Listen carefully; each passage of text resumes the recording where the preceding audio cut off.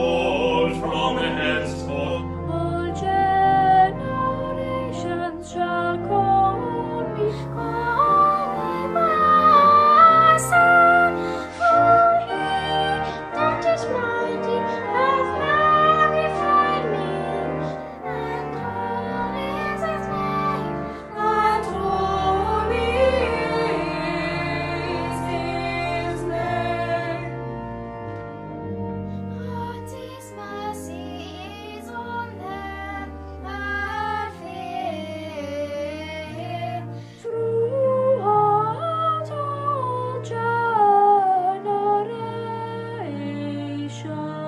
He that showeth strength with his arm, he that scattered